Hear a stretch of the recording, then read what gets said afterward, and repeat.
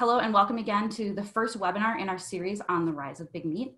Um, I am Colleen Borgendale, uh, the Communications Manager and Creative Director at the Institute for Agriculture and Trade Policy, um, uh, otherwise known as IATP. And um, I'm going to I'm going to be, run, be running the webinar. Uh, so I just want to give you a couple uh, housekeeping notes before we get started. You, um, I'd like to draw your attention to the Zoom webinar control panel. And as you can see on the screen, um, throughout the webinar, you are able to submit your questions to our presenters by typing them into the Q&A box located within the panel. So we have them in all in one place um, and can make sure that we get to them at the end. Um, so you're gonna submit at the Q&A and then select the send button. After our three presenters are finished, we will have our Q&A session and we'll try to get to as many questions as time allows. So please send your questions in as they come to you um, and they are being collected somewhere. Um, finally, this webinar is being recorded and will be available on IATP's website at iatp.org after um, we are done with this webinar. And we will also be sending out an email um, in a follow or a link in a follow-up email. So let's get started.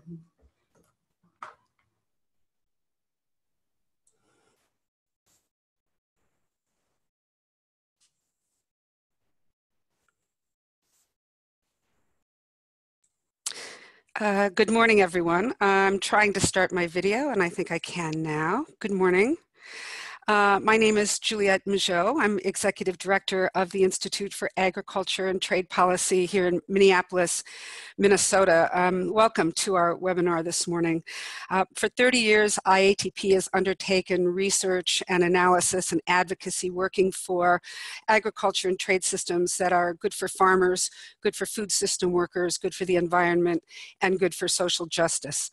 Um, we are headquartered here in Minneapolis. We have offices in Washington, D.C. and in Berlin, Germany. Uh, there's a great deal to say about the global meat complex, the corporations that run it, and the governments that should be regulating it.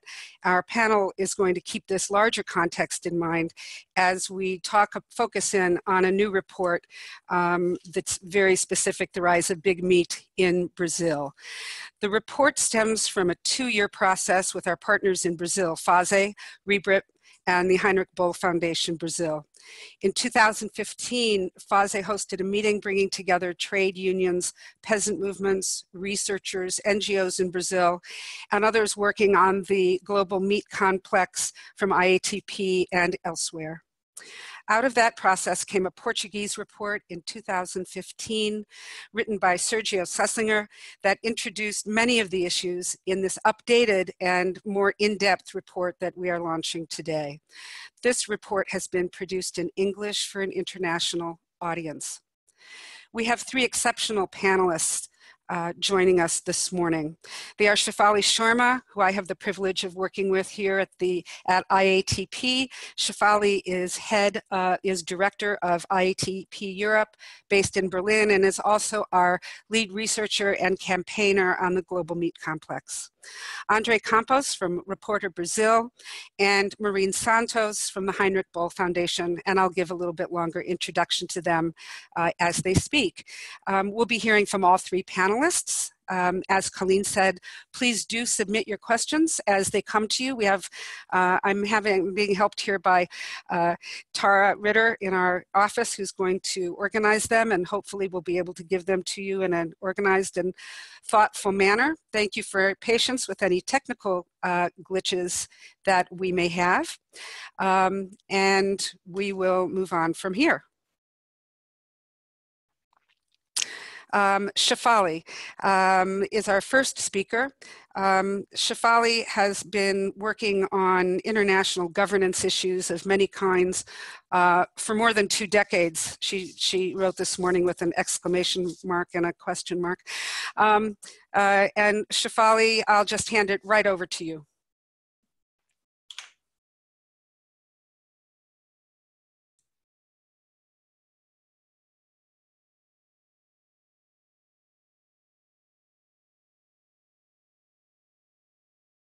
Hi, everybody. Um, great to be here. Let me see if this will work. Uh, voila, can you guys see that? Great. So yes, we are very excited about launching this report. It's been, as uh, Juliet said, in the making for the last two years. Um, and our Brazilian uh, colleagues, I'm sure, are also excited that it's, it's finally out. But the, the fact is that we had to keep updating it because so much has changed and so much keeps changing, particularly this year with JBS, um, which is the biggest meat producer in the world and um, is a Brazilian organization, uh, a, Brazilian corporation. And Maureen will talk a lot more about that um, as the third panelist, but let me get started. So, why did we um, focus on Brazil? We started out with China a few years ago. We, did, we produced four reports on the global meat complex. Who are the companies and why are they growing in China and outside of China? And one of the reports we produced was called The Need for Feed, um, which obviously took us to Brazil and to Argentina. Um, uh, we saw soy exports, which has been written about quite a bit, um, exponentially increase from Brazil. Uh, the European Union has been a, a, very big importer of Brazilian soy, but uh, China has pretty much dwarfed the EU since. Uh, but they those two continue to be uh, the biggest ex, um, imp- importers. Uh, so we decided we wanted a, a much more in-depth look at Brazil and what has been happening. And what we found, of course, is that Brazil is central to the global meat complex. Uh, least, uh, not least because uh, the Brazilian government has invested quite a bit in developing these um, national champions. And you can see uh, Brazil, in the last few years, has become the, the leading exporter in the world of poultry, the leading exporter in the world of beef, the leading exporter in the world of soybeans, and number two in maize, and number four in pork. And uh, competing with the United States, of course, both in terms of exports, but also in terms of production. It's uh, number two in uh, poultry production, in beef, in soybeans, number three in maize, and number four in pork. So I mentioned about uh, national champions, and what's important to understand is that in, that this policy was initiated by the Brazilian government between 2007 and 2013, where they decided to single out uh, a certain set of corporations that they thought would bring them revenue by developing their export potential. So public money, uh, including from the Brazilian National Development Bank (BNDES), uh, went into um, creating these national champions, and I write international champions because, as you can see, uh, that strategy worked very well, uh, almost too well for these corporations. The JBS's uh, increase in food sales over the last six years has increased by 195%. Uh, um, and uh, yeah, so, oops. My uh, keyboard seems to be frozen. Hold on one second.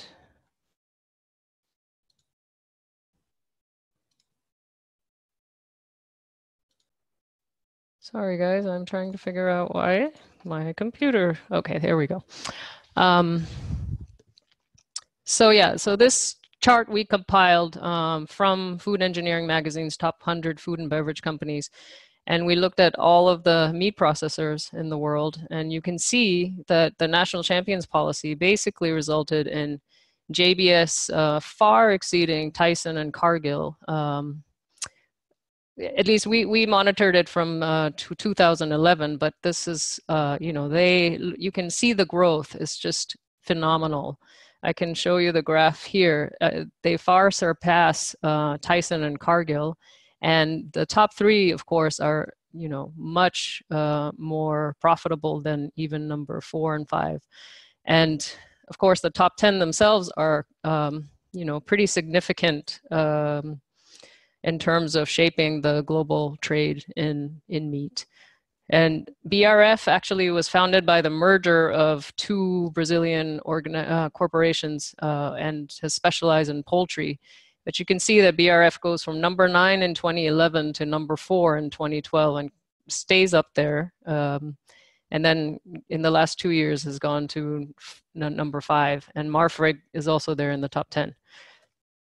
So what has what has the impact been in and I'm very pleased to have Andre Campo he's here. He, uh, one of the issues that we really focused on in this report is about human rights, and he's going to talk about that. But I want to flag some of the other issues that we bring up in the report, and one of them is that as this exponential growth happened, of course, there was a soy moratorium. There have been uh, zero deforestation agreements in terms of cattle. And this study uh, conducted by Gibbs um, et al. from uh, Did Ranchers and Slaughterhouses Respond to Zero Deforestation Agreements in the Brazilian Amazon? I found the study very useful. This map shows uh, where the deforestation agreements are, the zero deforestation agreements are, and you can see the deforestation around those um, areas. And what's happened in the last two years is that uh, while Brazil was dramatically reducing its deforestation rate, although deforestation continues to climb, uh, it has reversed that trend in the last few years, um, and we uh, we believe that this has in part to do with the the rising exports that Brazil has and the rising production in Brazil as well, in part. Um, so you can see that what happens, uh, why does deforestation continue in spite of zero, zero, deforestation agreements? Yes, they've been successful to some degree, but you can see that uh, with laundering and leakage, so you so the non-regulated um, operations and ranches uh, supply to non-compliant, uh, non-compliant, well, okay, sorry. So these non-regulated uh, corporations get their supplies from these um, ranches and then it's leaked to the slaughterhouse that is also not compliant. And the same thing with illegal calving ranches. Uh, you can see that they basically circumvent um, that uh, that chain that is supposed to be monitored.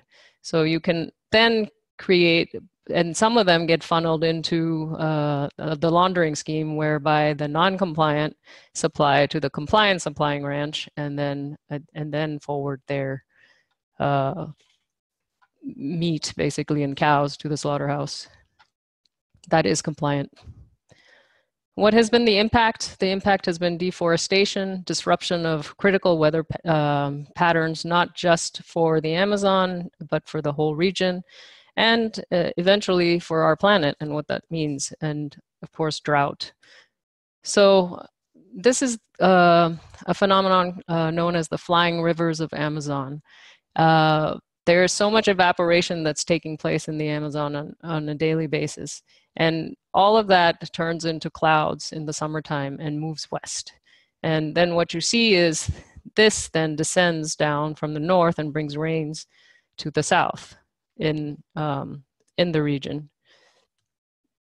This is the whole, uh, I like this map because it shows just the amazing web of tributaries that the Amazon has and how much uh, these weather patterns are really critical for the whole ecosystem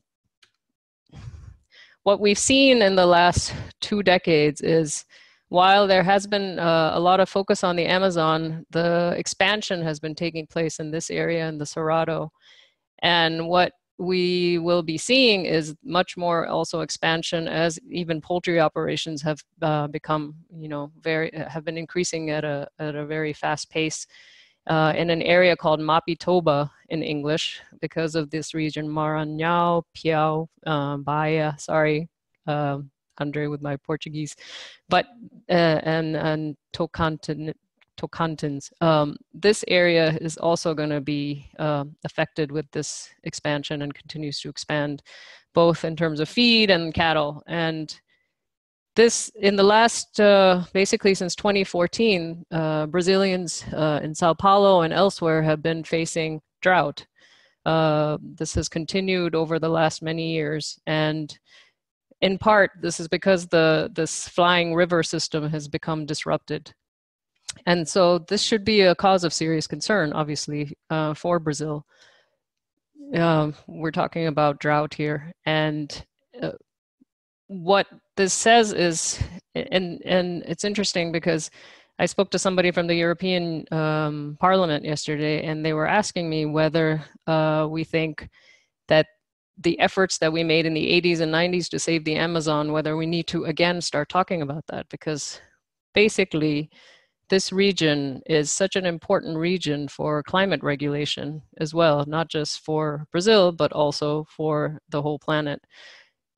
And this, I wanted to, I wanted to leave off with um, uh, this, these set of graphics that we produced with GRAIN uh, just before the climate conference. Um, and you can see again, JBS is the largest emitter of the top 20 meat and dairy corporations in the world.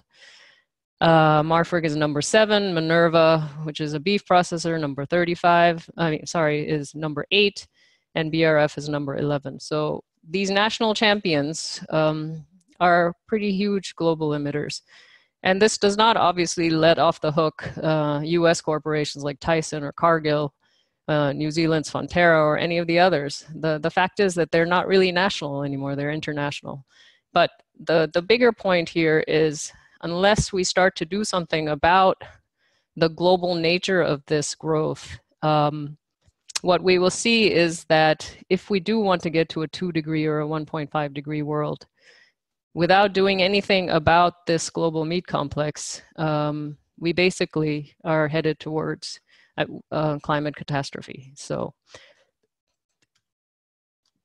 and uh, if that doesn't depress you guys, I just wanted to share one more slide, which talks about the next 10 years and the growth that is foreseen in Brazil in terms of exports and consumption. And According to the OECD FAO Outlook last year, basically, uh, they're predicting a 41% increase in, in, in, exports of poultry, a 39% increase in exports of, of, of beef, a 29% increase of pork, 33% increase of soy. Um, we need to put back in those numbers on maize, uh, and and 40% increase in terms of production, which obviously is also linked to the growth in exports um, which both for the for the production at home uh, for the meat they're producing and exporting. So is it all too late? Uh, are we basically saying, well, you know, um, there's no there's no point? No, I, I absolutely, and IATP does not think that at all. I think um, we believe that there are are very um, feasible solutions, but they require political will. And so we do need to redirect um, funding, public funds, from this global complex into regenerating local food systems, reinvesting in them. We definitely need to regulate the global meat complex. We need to, uh, without doing that, we are not going to be able to actually reduce uh, meat consumption and certainly not of industrial meat uh, production, which is what we think is causing all these problems and let's regenerate a new um, uh, uh, the food system that we want uh, for local communities and for the planet. Thanks.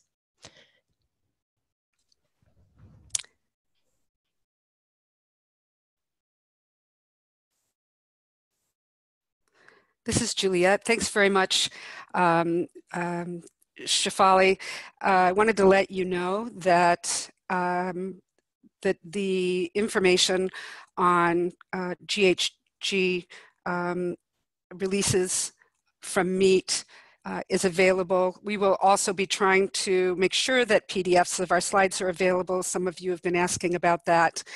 And we will be releasing uh, with some partners a full uh, in-depth report regarding the GHG emissions probably in April.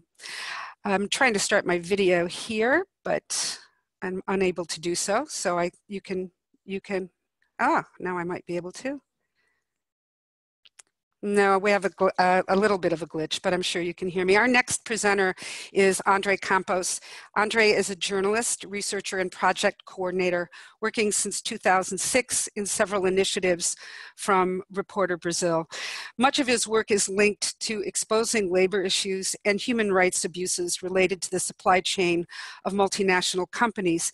He conducted several investigations about the meat sector in his company, uh, looking at different supply chains, and was able to uncover a startling percentage of um, released slaves uh, from uh, uh, from the meat industry, and he's going to be speaking to this very uh, important and disturbing aspect of the meat industry. Um, Andre.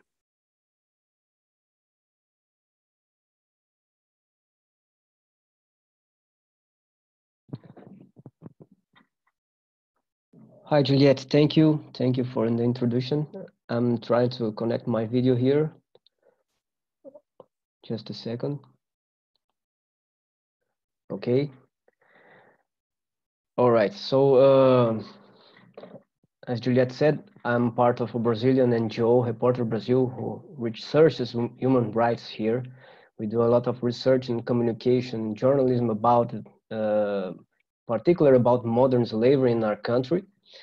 And uh, when we talk about modern slavery in Brazil, uh, we have to just to keep in mind that the meat sector is a key sector in terms of violations. And uh, for you just to have an idea, uh, we have here in Brazil since 95 uh, the, the, the official recognition, recognition of the government that does modern slave does exist in Brazil. And from this date, a group, an inspection group was created to rescue workers in farms in Brazil.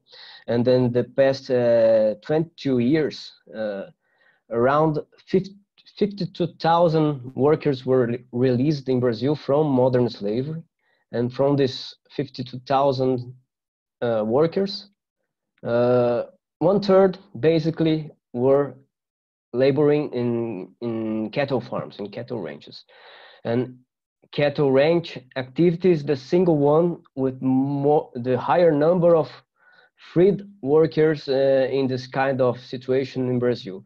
And of course, this number, uh, uh we are talking about 17,000 freed workers in the past 20 years. This number does not represent the total amount of the problem uh, because not not every situation that is reported to the government is actually inspected on the field. So it's a higher problem than the 17,000 guys released. And I'm just sharing with you here just uh, a picture. Uh, when we think about the cattle ranch, usually this is the kind of worker that we have in mind that is the, the cowboy, uh, we call the vaqueiro here in Brazil. And, uh, but actually the guy that uh, usually it's uh, subjected to uh, modern slavery in Brazil is is is another uh, type of worker, not this one, and a worker that usually is kind of invisible to uh, to the population. I'm trying just to make the PowerPoint presentation too. Okay this is the kind of worker that is also in a cattle ranch um, farm that is usually freed from modern slavery. Uh, this picture represents, in fact, a, a, group of guys that were freed in a government operation. They were here building fences. Uh, they're workers that are usually uh, employed in maintenance jobs, uh, preparation for new areas to receive the cattle, and for example, just uh, ripping off roots from the ground, uh, cutting trees also. Uh, here we have another picture that shows, this is actually a picture that was taken in a, in a farm uh, where workers were released and uh, they were you know, making, uh, were part of the deforestation team to, to, to just create a new cattle farm in the Amazon region here. This is very common much of the slave labor cases that we have in the cattle ranch activity, they are linked to deforestation. So this, these crimes, uh, modern slavery and illegal deforestation, uh, quite often they come together. This is a very common thing in, uh, in Brazil. And uh, who is this, uh, this worker? the, the worker that is subjected to modern slavery in cattle farms. Usually it's a young, poor, uh, male migrant worker, okay? He's uh, coming from the poorer regions in Brazil. He's, uh, he's, uh, he, he's, uh, you have uh, in Brazil this very typical figure in the rural areas, which is we call the gato, but uh, it will be something like uh, a coyote, something like this, let's say.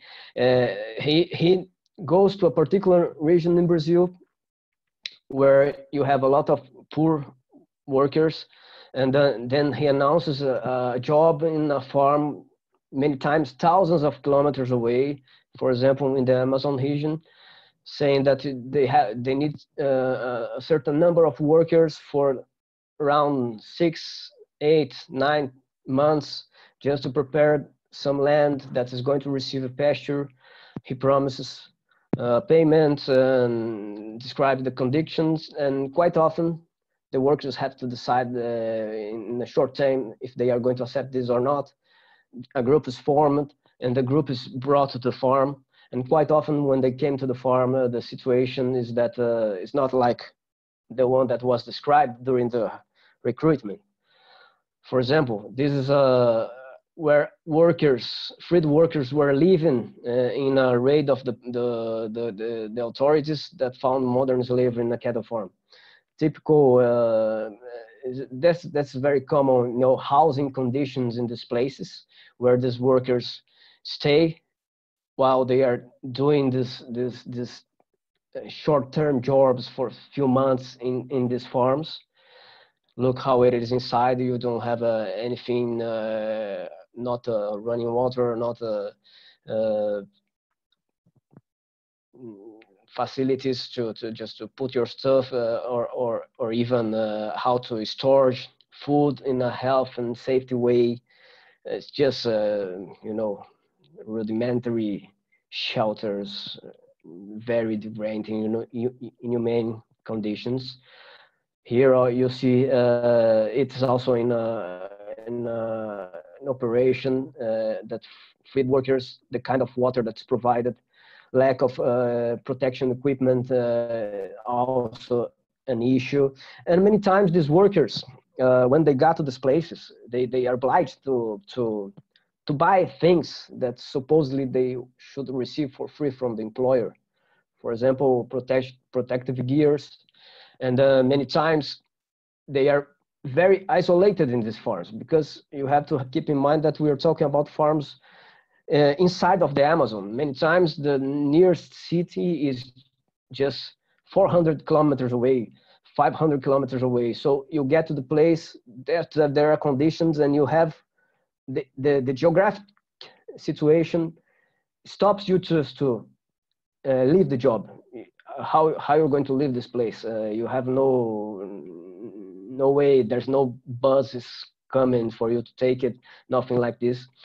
And uh, you, you have to buy things, uh, food, uh, equipments, many times from the employers under prices that are not uh, the prices that are the ones that are offered in the market, higher prices. And uh, this quite often leads to a, a debt bondage uh, relationship. This is uh, a very common thing to find in these farms. Uh, the notepad with the debts, where the, the, the, the, local manager of the farm keeps track of how much all these workers are in debt with the, the farm for food or other things and how much they still need to work just to pay out this these debts. And uh, here in some situations of course this is this is an extreme situation it's not always like this but in, you have even extreme situations where this modern slavery scenario leads to physical threats and violence. Here it's a case of a worker who was you know uh, marched with hot iron, kettle hot iron, for being compl- having complained uh, about not receiving the payments, uh, delayed payments. And uh, this, this worker actually ran away from the farm and uh, reported the situation to the authorities, and the authorities get to this farm, and as a result, uh, you you had uh, 35 workers being released from modern slavery in this particular case here. And uh, this is a this is a, this is a cattle ranch activity. Uh, this is how how how slavery can can appear in the in, in the sector. But when we go to the chicken farms, there is also a, a group of workers that uh, very usually are, are, are, subjected to to poor working conditions and ex extreme situations. Not as often as the cattle ranch, but also you have some extreme situations that are considered modern slavery according to the Brazilian legislation. Uh, we are we are talking about the, the poultry catchers. Uh, that's how we call them here. Uh, it, it's also a type of work that many people doesn't even know that exists. But uh, uh, when you when you go to a chicken farm, uh, you have to have a guide to put the chickens on boxes and then to transport the chickens to the slaughterhouse. This type of work is done they, usually by uh, outsourced workers. Uh, they are hired by companies that are hired self by the meat packing plants, and this tra transportation companies are in charge of hiring the workers that are going to do this kind of job here in Brazil. And uh, how it works, you go, uh, you have a, a, team of workers, usually 10 to 12. Uh, they, they, they, they get in a van in a particular time of the day and they go to a one one chicken farm they just loaded all the chickens in the boxes and the, then the boxes on the the, the on the, the, the trucks and they do just uh, amazing things. It's, it's like uh, 10,000 50,000 uh, chickens uh, loaded in uh, in one hour, something like this, and for, they go in one day of work from one farm to the other, uh, and many times to five, six, seven farms in just one single day of work, and farms that are not necessarily close to each other. And one thing that is very common and problematic in this activity is just very very long and excessive hours working hours. You have a it's common it happens that these workers leave in the morning and just go uh, catching chicken for uh, 14 hours hours 16 hours 18 hours just you know eating in the car many times you sleep in the car and you have reports and even of situations that they just go on that on that dynamics for two days and three days. And it's very you never knows exactly when you're going to start to work and when you're going to come back. So it's a guy who never knows when he's going to sleep. It's not very you know well organized uh, agenda working agenda. And uh, what happens is that these workers also have a lot of health issues because it's a very tough job taking these boxes with 15 chickens inside 20 kilos something like this just loading in trucks put up in the trucks. This this guy usually doesn't have a, a long uh, a physical capacity of doing this kind of work which is in fact the, the kind of work that is available for them. Again, we're talking about the same uh, type of worker, uh, poor, poor, poor men's, young men's with poor education, and many times, uh, uh and, and the majority of them that identify themselves as black people are mixed race people. That's the profile of, of the workers. And, uh, you know, this, this happens 24 hours a day it goes on uh, during the this one is shoot uh, 3 a.m something like this. You have groups doing this because the slaughterhouse operates 24 hours a day. So you have to deliver chickens 24 hours a day. All, all day long there are groups catching uh, chickens in some farm uh, in some place. And uh, i've just also want to mention here very briefly that we also have workers' wishes when we in the meat industry when we talk about the the, the industrial plants. These workers uh, also face a lot of accidents uh, and, and repetitive strain injuries in this environment. And uh, when we talk about the contract farms that we have in the chicken farms, usually small uh, familiar farms, uh, the, the, the scenario is not that much different when we compare with uh, with uh, other places uh, in, in the world. Uh, you, they, they don't know how much they are going to receive by the, the animals. Many many many many of them are in debt with banks and and running out of business and having a hard time just to make a living from this activity and, and the uh, payment models that are imposed by the industrial industrial uh, buyers. And uh, I, I, it's important to take in mind that uh, these problems when we talk i'm just pointing out here a recent story that uh, the Guardian made with, with, the help of Report Brazil in partnership with Report Brazil, showing how these problems, uh, modern slavery in cattle farms, uh, they, they, they are linked to international markets. This is not something that is local and just stays on the local market. You have this uh, also uh, in, in, in, in meat beef that's going to be exported uh, to to big brands in in other countries and uh, the same goes for chicken. We, we did have already in Brazil cases of modern slavery linked to these both big two names of the, the chicken industry, BRF and JBS, which are companies supplying for fast food companies. Uh, you have names like KFC, Subway are part of the supply chain. So it's, it's, it's really a global issue when you think about this. Thank you.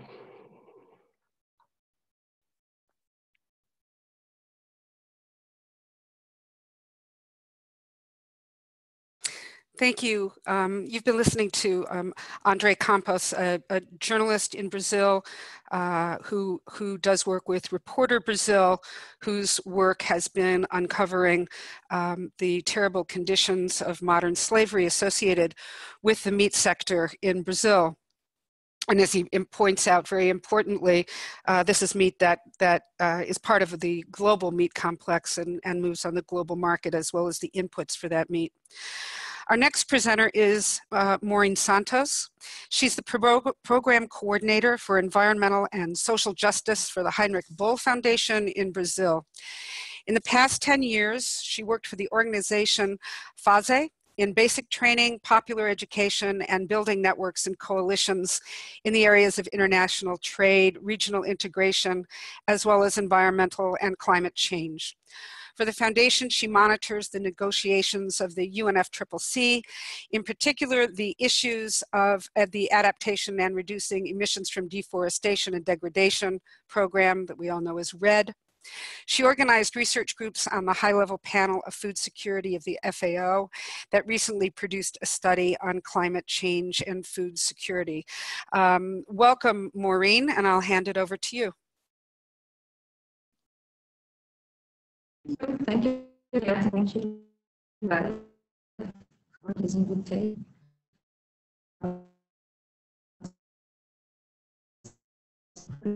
Uh, here, yeah, uh, I would like to talk about, uh, Shefali already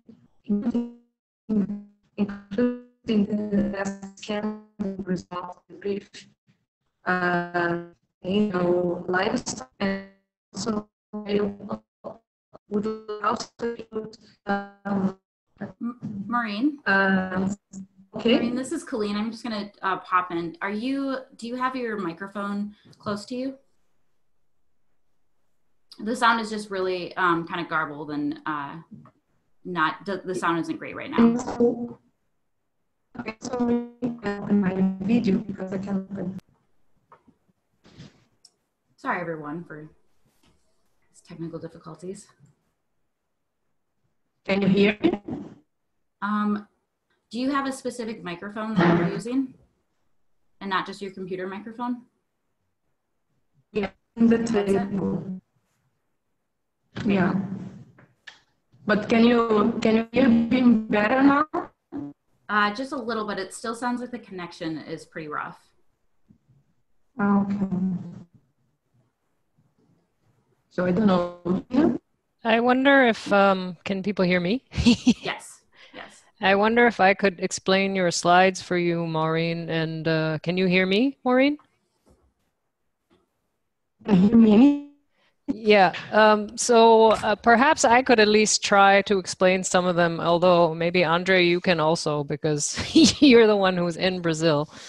Um, and so feel free to jump in. And where I uh, deviate a bit, Maureen, perhaps you can put it in the chat function, and we could we could try it like this for now, if that's okay. Just because your sound is really broken up. Let me again.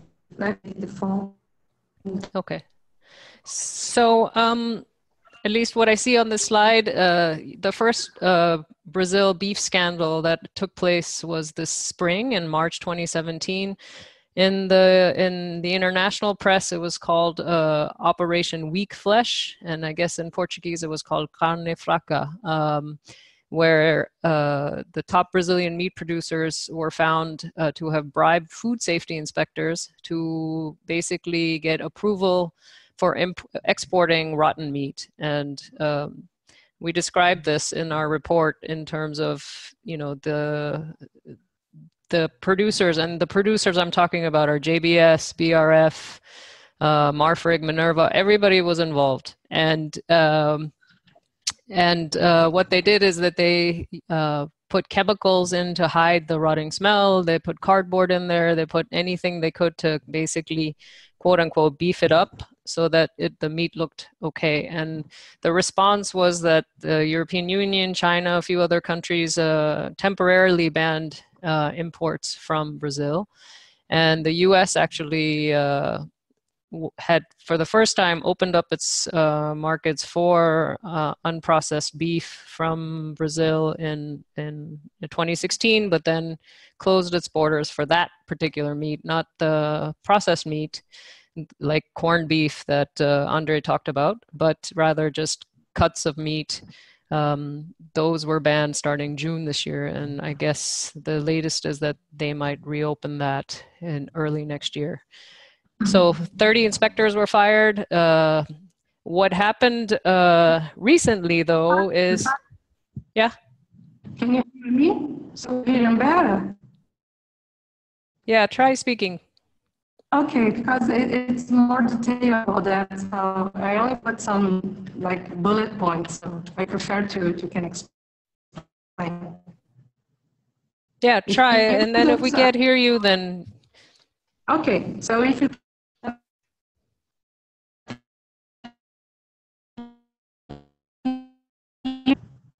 so this is the direction that's kind of. It's like that. Sorry, Maureen, it's still really hard to hear you. Unfortunately. Um, perhaps you could write some of these notes that you have. I, I, I don't know how else we can do it. Um, unless you speak to Andre by phone and Andre speaks to us. um, I would say I would say let's move on to the Q and A, and maybe we can get Maureen on another webinar. Um, for everybody who's attending, we are going to be um, having a couple more uh, webinars in this series on the uh, global meat complex. So uh, um, let me let me just finish up though the JBS story because it gets worse, um, and, and, then we can open it up for okay. for Q and A, which is that um, basically uh, JBS's uh, um, CEOs. Uh, it's a family, right? It's the Batista family, and uh, it's Wesley and Josie, Joesley and Wesley Batista. They were found uh, to have, from the special prosecutor in Brazil, were found to have paid over 1,900 bribes in the period of the last 10 years in Brazil uh, to various uh, politicians, including Temer, the current president, um, and obviously all three governments, Lula's, uh, Rousseff's, and Temer's, are implicated because the rise of JBS uh, took place in these last um, 10 years. And while they were negotiating a leniency fine in May, they were also in doing insider trading. And that was also subsequently discovered. So they were arrested in September. And at this point, um, uh, JBS has had to um, replace the, the, their CEO with, and of course they replaced um, these CEOs with none other than their father, who's 84 years old, Jose Batista. So that's the state of play. What I would love to hear, uh, Andre, if you could comment, is how have the Brazilians reacted to this huge scandal? Uh, what has been the sense in Brazil with regards to this meat company, uh, their rise, and you know because they're the they're the national champions. So how do Brazilians feel about this? Yeah, it's uh, here in Brazil. This whole JBS uh, drama uh, happened in the last year. It was really one of the things people talked more about it because it involved uh, the the presidencies. Uh, what happened in the time of uh, time of the last year is that the the, the Joesley, the owner of JBS, he went to a meeting with the, the president. Uh, he tapped the president uh, allegedly uh, to keep bribing some deputies. Uh, it's a very hard story. So uh, right now is from a Brazilian citizen perspective, uh, what they see in this situation it's a it's a corrupt relation between companies and the government uh, which is you know draining in, in many ways the resources that should be using uh, to education uh, health uh, into corruption schemes. For example when we talk about jbs jbs was supported, highly supported by public funds in all these operations to become an international company. And now we know it's clear, crystal clear that this was in linked, this all this funding was linked to bribery and uh, to to send money to politicians. So it, that that's how uh, how you know crushed all the, the the coherence of these policies of you know creating the national champions in brazil. Uh, nobody believes in this anymore as something that was created for the brazilians you know for the welfare of the brazilians. It's pretty much clear that was uh, something that that's in everybody's mind is something that was created just to um, to transfer to just uh, some groups, specific groups in Brazil.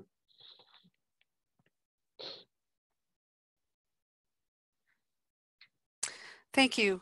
Um, back to we're back to Juliette Majot here at the Institute for Agriculture and Trade Policy, and I'd like to um, put a few questions to the panel. Um, on chat, we've been asking if people might be able to stay on a little bit. Should our questions go over time because we are running a little bit late, uh, and we will see if we're able to do that.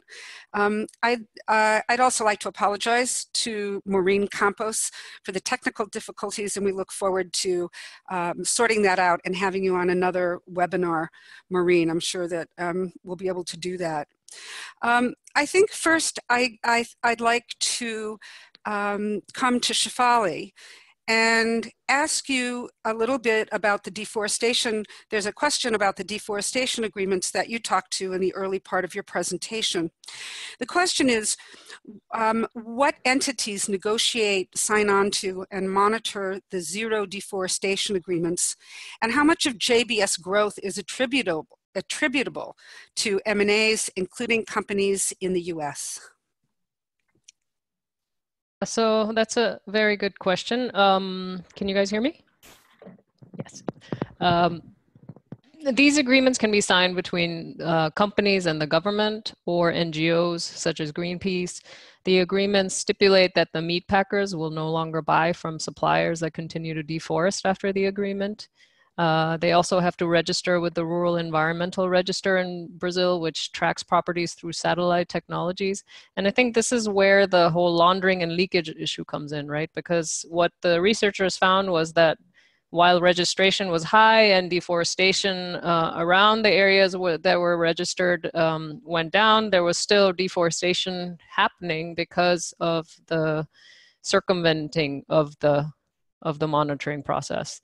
Um, and how much of it is attributed to the mergers and acquisitions? That's an excellent question. JBS has by far been the master at mergers and acquisitions in the last 10 years. Um, you know, they're the they're one of the the top four uh, beef processors in the United States that control virtually um, 80 85% of the market, and and uh, yeah so and in australia and elsewhere they have a lot of assets. They've been in the process of selling um, a bunch of their assets because of this fine this 3.2 billion uh, dollar fine that was imposed on them but uh, they've also cleverly uh, for instance uh, they own moy park which is a they owned moy park which is a big um, uh, processing facility in the uk but what they did is that they sold it to um, uh, Pilgrim's Pride, I believe, which is which is JBS in the United States. So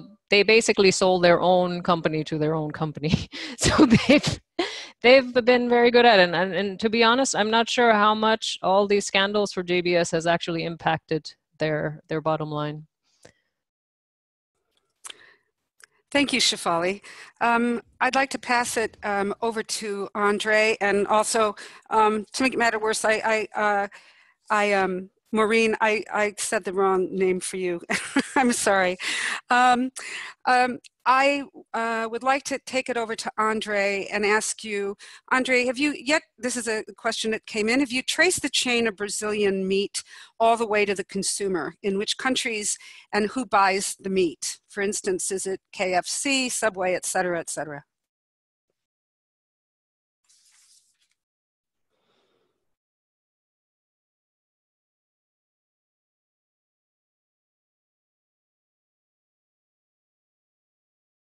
Andre, you have to unmute. Sorry. Okay, yeah. Yes, yes, we have traced back uh, uh, how Brazilian meat gets to the international market in, in projects in the past. Uh, I'll just just to have an idea uh, about this, I, will just post it here in the web chat and in the chat one special web page that we have created a few years ago uh, this one particular is more about uh, the conditions of the workers in the meat packing plants, but it shows the customers of the, the Brazilian meat in the US, in Europe, uh, and uh, you have to uh, take uh, this as, as a 2013 portrait. This is a very dynamic market. Things are constantly changing and uh, but what what's the scenario today is that brazilian meat is very important supplying uh, companies all around the world. And and yes you you do have both in chicken and, and in the meat sector uh, big uh, retailers. Uh, we just show, showed the, the Guardian story which is mentioned for example waitrose sainsbury and uh, you have also Tesco is a constant buyer from Brazilian meat, and uh, in the U.S. you have uh, also supermarkets that uh, that are selling private label products uh, coming with beef made with beef from Brazil, corned beef, for example. And uh, here in Brazil, also the multinationals, Walmart, uh, they, they, they, of course sell beef from Brazil and JBS, all these big companies, Marfrig. So yes, it's a you have pretty much uh, much of the big na names in the food industry as part of the supply chain of the Brazilian meat. Thank you, Andre. Um, I'm going to take it back to Shefali, um, uh, jump uh, the subject just a little bit because we've had a number of questions come in regarding the um, contribution of greenhouse gases um, by the meat industry. Uh, one of the questions is what method did you use to calculate the CO2 emissions of meat processors. In particular, does this imply the soya production needed for meat feed? And I would paraphrase that a little bit and ask you to explain uh, not just CO2 emissions, but the other emissions that uh, are part of the calculations um, for meat. Yeah, I won't go into too much technical detail here because the methodology is on our um, on our website and in the the link that we provided uh, that I just actually pasted on here for the uh, the grain and IATP and Heinrich Böll study that we did. There's a detailed methodology explained there, but yes, feed is included in that. And the, the main methodology that we used was the one developed by the FAO and ironically also the industry um, participated in this um, is called GLEAM, G-L-E-A-M, and um, it takes into account um, basically the various stages of production uh, uh, and including land use. But it does measure emissions intensity. So, and that's, uh, we're coming up with a much bigger report uh, in the spring that will detail uh, a lot more information. These are the infographics that we developed uh, right before the, the climate change conference. Thanks, Shefali. Um, uh, from the from the presentation um, of of Maureen's work, and hopefully we'll have a real presentation from Maureen on another um, uh, webinar. We have the question: What is meat consumption rates like in Brazil? Who eats it, and is it inexpensive? You want to uh, take that one, uh, Andre? Yeah, yeah, uh, yes. Brazil, it's it's uh, it's a country that consumes a lot of meat, and uh, but it's also a country where a large share of the population is poor, and uh, meat is expensive, right? And uh, especially uh, beef. so so what what happens today in Brazil in the last years?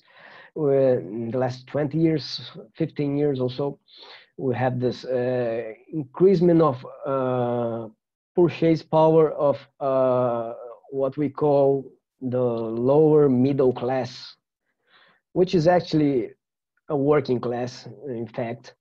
And a lot of people, you know, millions of people suddenly start to have, you know, more money just to spend with themselves.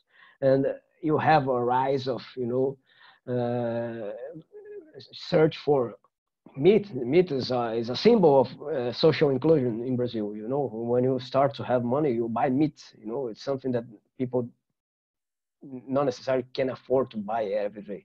So you have an increasement here.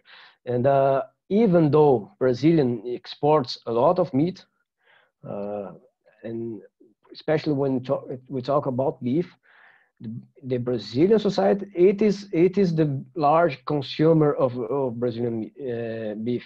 Uh, so most of what we produce is consumed here internally, although a very, a very important share is, is supported. And I would just add, um, maybe if I can share my screen, hold on one second. Um, if you look at this slide, uh, it's true that, hang on, I just want to make sure I'm not missing anything. yeah. Um, if you look at this slide and you look at in particular exports and consumption, and it's true, uh, Brazil has very high levels of consumption. It's one of the, it's on par with the United States and some of the over-consuming uh, Western countries uh, like Europe, like the United States, Australia, New Zealand. Um, what but what you do see in the next 10 years is that the, the increase is going to come from exports. And so, of course, consumption will continue to rise as well, but it won't rise as fast as the exports will rise. And so that's that's a problem. And I think that's something that those of us who are focused on this global meat complex really need to think about, which is what is facilitating this rise of exports? Who is actually eating this meat? Because the meat companies always come back and say, um, well, this is all about food security and it's about feeding the poor. But as Andre has said, you know, how many of the poor are actually accessing this and what is it that the poor actually need in terms of food security? Um, so it's a very important uh, point in terms of where is the bulk of this land use change why is that going to happen in the coming decades in Brazil uh, related to the meat complex? Thank you. Um, we're at time and we're going to extend this Q&A um, session for another five to 10 minutes. Um, we have a number of people uh, coming in with a question that I will paraphrase. I'd like to direct it to you, Andre. And, and that is simply, are there statistics or numbers so that we can understand how many people are engaged in modern slavery in Brazil and what part of that are engaged uh, in the meat industry?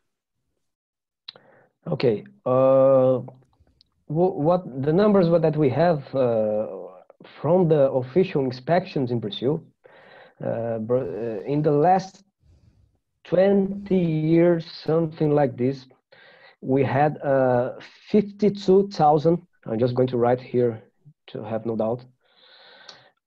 Uh, workers, workers rescued from modern slavery in Brazil. Uh, that's the total of the workers rescued in any kind of sector.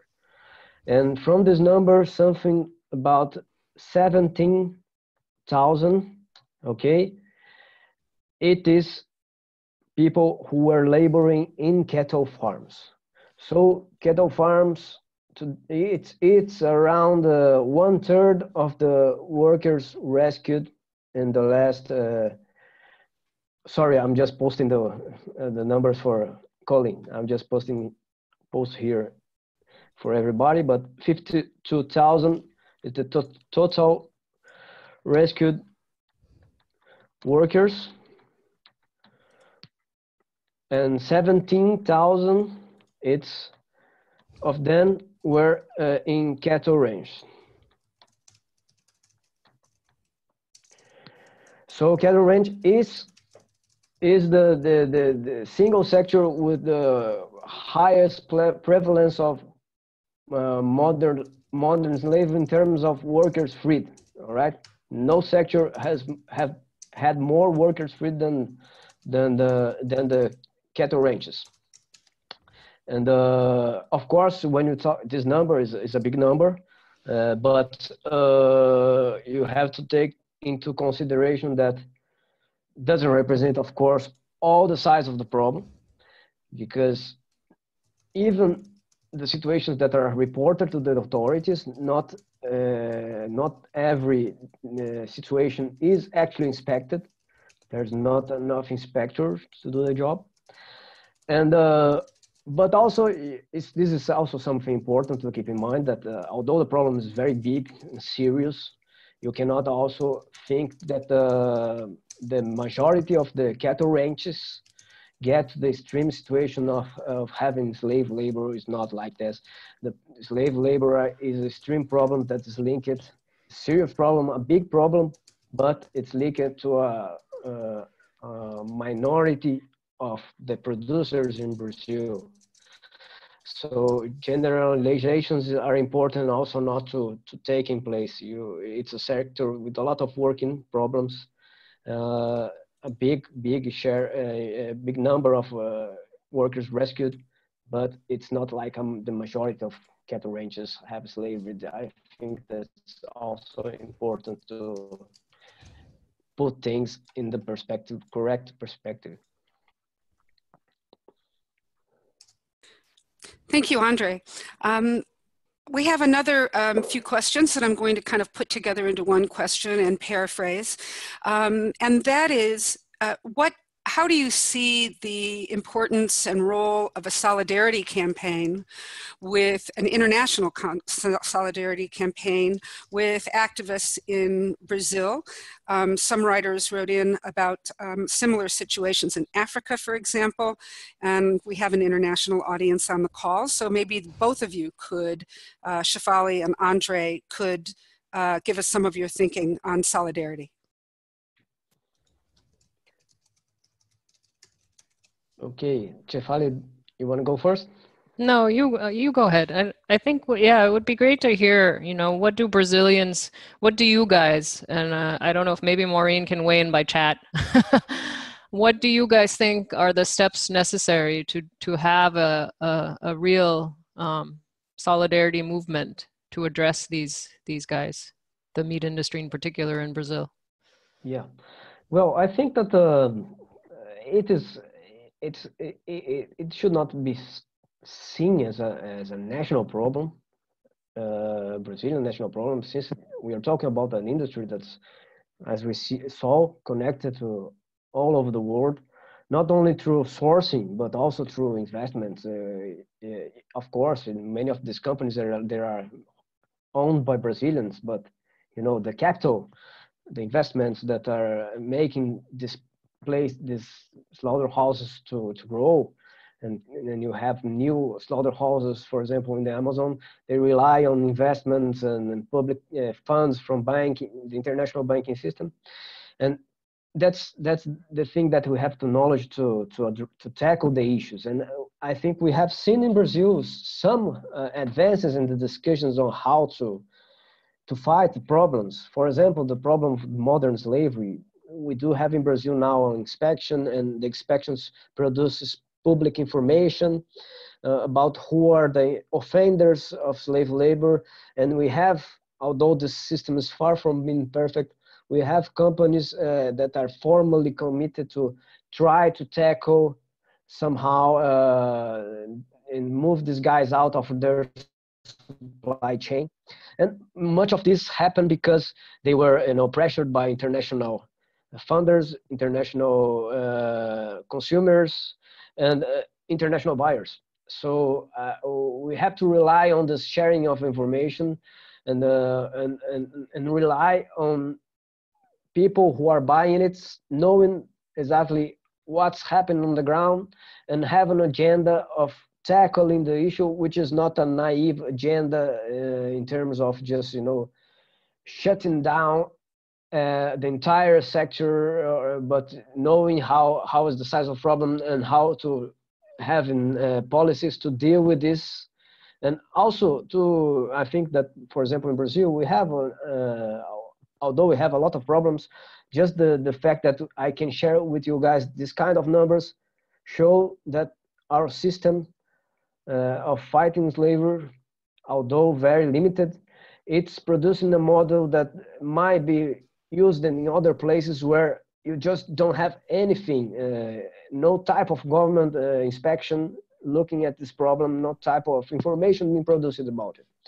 And I think this is also something that uh, can be, you know, somehow, some way just uh, spread in other places. Thank you. Um, thank you, Andre.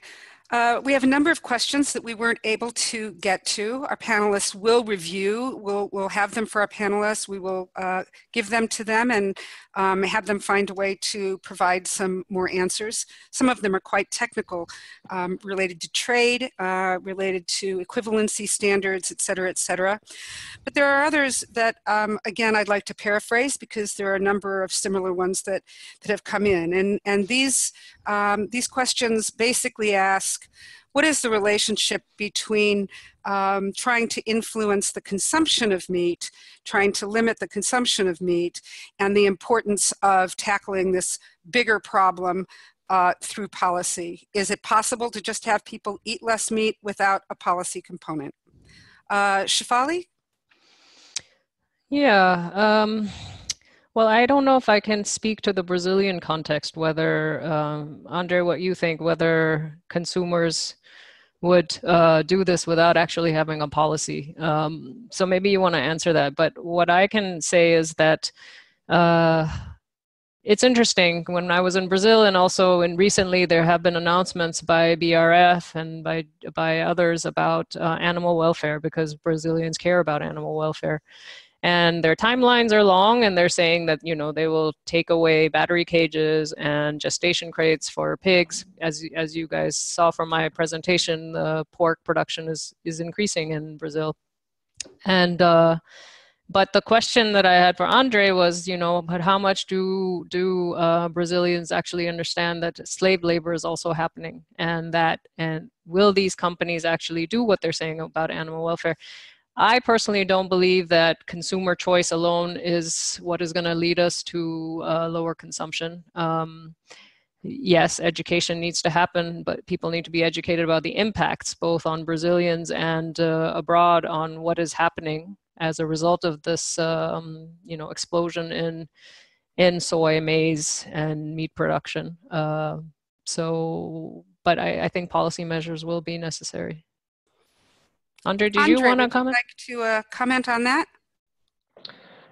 Well, uh, I think that uh, it's it's a very sensitive and difficult uh, approach, of course. Uh, about the, we, we, do have here in Brazil some uh, small, minor, uh, very you know restricted initiatives. For example, during some time, the the mayor city here in São in São Paulo, in São Paulo, which is the biggest city, made a campaign just like Mondays free from meat. Don't eat meat at Monday uh, reduce the consumption. But at the same time, uh, you have to take in mind that we are talking here in Brazil, as in many other parts of the world, about a group of people which is has always have problems to access meat as as uh, something to part of their daily lives, and now finally it's getting more easier and cheaper and possible to do it uh, to eat it. And uh, this is this is an audience uh, this is a group of people that uh, see meat not only as a food uh, but it's some a social inclusion as i said. To campaign uh, there's a lot of limits how you can, can, can campaign to reduce meat in this kind of context and uh, i think that really it's something that it's you have to discuss in a very long term uh, uh, in, in, in a and uh, it doesn't I, I agree with uh, Shefali. This is not going to, you know, be a short-term answer for the problems related to to to to the unsustainable growth of the industry. Uh, we have it's an important important component of what we need to do and discuss, but it's not going to lead the change. I don't think so. Thank you so much. Um, we've reached the end of this. Thank you so much to the very the many participants who stayed with us for uh, an extra 15 minutes. Um, we look forward to hearing from you soon. We will. Um, this webinar has been recorded. It will be available um, soon and on our site on the IATP site, and we will send an, a follow-up email in the next few days with a link to this webinar. Thank you very much to our presenters, Shefali, uh, Andre, and uh, Maureen. And um, we look forward to the next webinar uh, on this very important subject. Thank you. Thank you. Thank you.